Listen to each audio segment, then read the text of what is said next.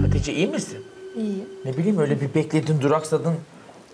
Yani e, ağlayınca biraz kendimi suçlu hissettim. O yüzden kaynaklı oldu. Yok canım istedim. Moralin mi bozuldu yoksa Evet. hata mı yaptığını düşündün? E, ağladığı için hata yaptığını düşünmüyorum. Yani insanlık hali. Ama şey Naciye Hanım'a yaptığını hata olarak buluyorum. Sadece biraz kendimi suçlu hissettim. Hayır, Acaba kendini çok suçlu mu etme sebebin neydi? Ha. ağladığı için kendimi suçlu hissettim yani. Ağlatacak kadar mı ağır eleştiri yaptık diye düşündüm. Adife Hanım bugün modunuz o kadar düşük ki konuşmak bile istemiyorum burada. Adife Hanım gerçekten çekinerek yorum yapacağım size. Her an tepki verebilirsiniz. Naciye Hanım'a yaptığım hareketten dolayı tekrar özür dilerim ondan. Öyle algılamasını istemedim. Kabul etmediği için öyle kaldırdım. Öyle. Yani evet zor, şartlar zor. İki saatte yetiştirmek onun kaygısı gerçekten zor. Bugün daha iyi anlamışsındır. Peki şöyle yapalım. Biz şimdi bu konuyu komple kapatalım. Hiç ne siz üzülün ne de Adife daha fazla e, ağlasın şey yapsın.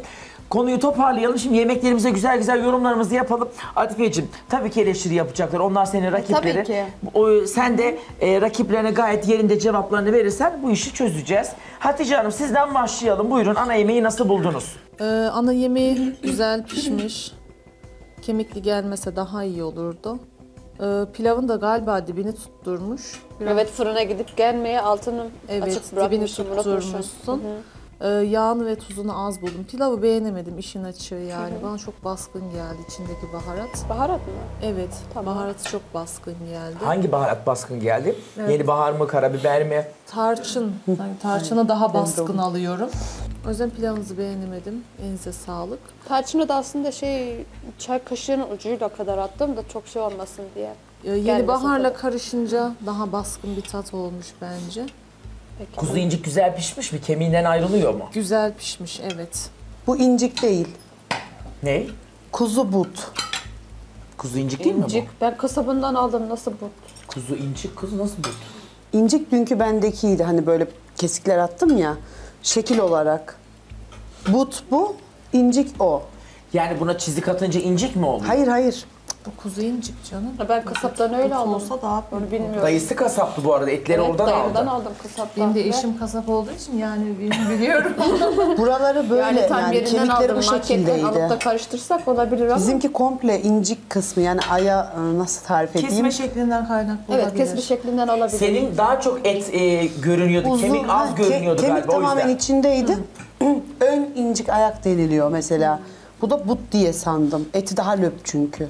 Peki yorumuna geleceğim şimdi. Hatice Hanım Ha, salatayı belki beğen- dayım daha etli olsun diye daha kalın kesmiştir inciyi. O, Belki. o da olabilir. Olabilir. Hatice Hanım eti, salatayı beğendiniz mi? Ee, salata çok ekşi, tuzu Evet, az. ekşi olsun istedim. Tuzu Evet. biraz az evet ona katılıyorum. Ee, bir de roka salatasını genelde balıkların yanında tercih ediyoruz. Çok doğru O da şey bulmadım, incinin uygun kokusunu alsın biraz diye. Doğrudur. Kuzunun kokusunu da bastırmışsınız. Peki Elinize sağlık. Fatma Hanım'ın dünkü tandırı mı daha lezzetliydi, bu incik mi daha lezzetli? Ee, bu incik daha lezzetli. Fatma Hanım siz nasıl buldunuz ana yemeği? Pilavı, tarçın tadı daha baskın. Salatasında ekşisini çok bol buldum. Etini sevdim. Sevdiniz. Hatice Hanım'a katılıyor musunuz? Dün sizin tandırınızdan daha lezzetli buldu inciyi. Evet. Siz de kabul ediyorsunuz. Peki. Naciye Hanım Ve biraz da soğuk geldi. biraz da soğuk geldi. Evet, niye fırına, ısıtmadı? Fırına koydum aslında Yani da böyle sıcak hemen tercih ederdim evet. geç kaldım. atmak Rahat için şey mi? yapmadık kusura bakmasınlar ondan evet. Etini güzel buldum. Afiyet ellerine olsun. sağlık. Dünkü kokuyu almadım bunda. Evet. Güzel olmuş. Ellerine sağlık. Pilavı ben de Hatice Hanım'a katılıyorum. Evet. Dibi tutulmuş ve tarçını biraz bol olmuş. Evet fırına gidip gelirken Evet, altını kısık da tarçını biraz bol olmuş.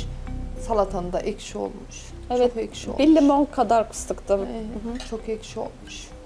Ben ekşi salatayı sevdiğimden belki ondan olmuştur. Bu e, Tam şey geldi. sade ro- Efendim? roka salatası deyince ben sadece rokayla bekledim ama soğan, domates, marul Onları süslemek için çeşidi koydum. var ya, Nar evet cevizi canım domatesi yani. süslemek Öyle için. de maddesi tercih roka ama ediyorlar. çeşit olarak içine Aynen böyle Ben de sadece tercih roka ediyorlar. bekliyordum. Peynirli de tercih ediyorlar. Zaten o gelse bayağı tam tercih balık işi ediyorlar olurdu bunu sadece. Evet o roka. yüzden Süslemek için koydum. yorumda Evet. yapmıştım.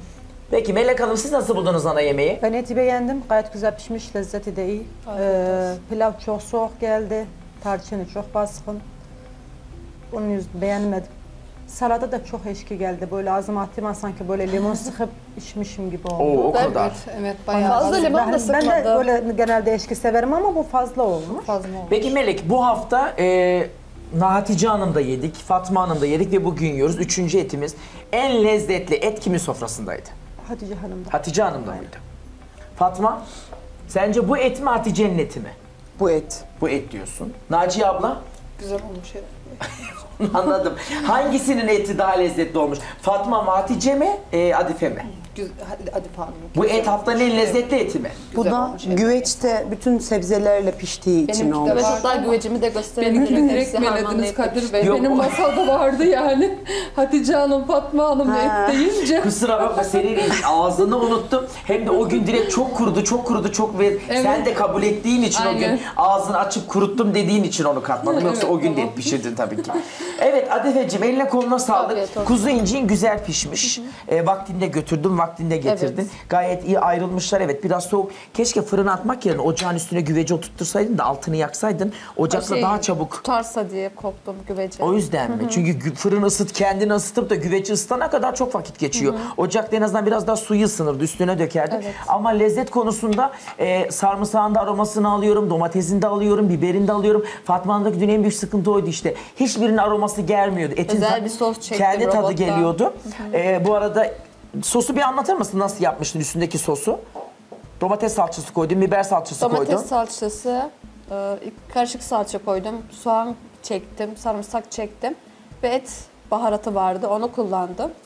İçine de biraz limon sıktım ve Et üstüne baharatı aynı tamamlıyor. patates tavuk sürer gibi fırına öyle bir sos yaptım. Bu arada eti... Önceden mi yapıyordunuz limonu yoksa dün ben tüyo verdim diye mi yaptım? Oy, Yok, sosun içine sıktım. yok yok. Yine yol mu açtın hepsine? Sıkmadım onu da bilmiyorum telaştan mı sıktım mı sıkmadım mı. Yani Naciye abla, yaptım. çok özür dilerim. Naciye abla ilk gün yarışmasa vay ki halinize.